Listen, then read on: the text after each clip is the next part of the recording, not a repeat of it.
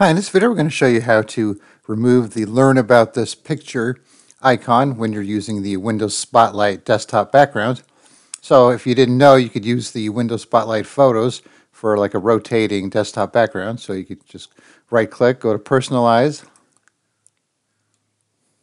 And if you have go to the themes, you have a theme here for Windows Spotlight. It even has the little picture of the photo there. So when you use that, it'll cycle through the uh, background images that it has. But what it also does is put this guy here, so then you click on this,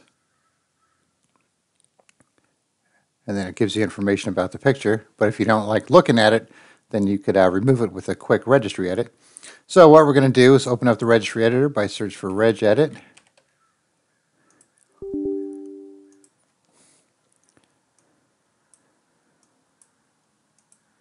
Okay, so what we're going to do next is navigate to this key here. You can just copy and paste it from the description.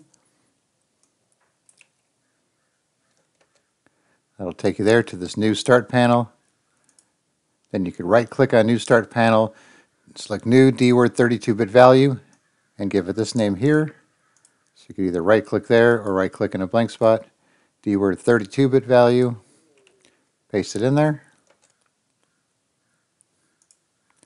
Then we're just going to double click on this value and change the value to 1. The default is 0, so we'll change it to 1. Click OK. And then all we have to do now is go back to our desktop, right click on it, choose refresh, and now the uh, learn about this image is gone. So it's just a quick way just to get rid of that little guy there because it kind of takes away from the picture. And if you need, you know, if you have a lot of icons, then you might want that little bit of space back for an extra icon. You never know. All right, so I'll put this in the description, and then you could just uh, copy it from here and get rid of that icon, and you'll be good to go. All right, thanks for watching, and be sure to subscribe.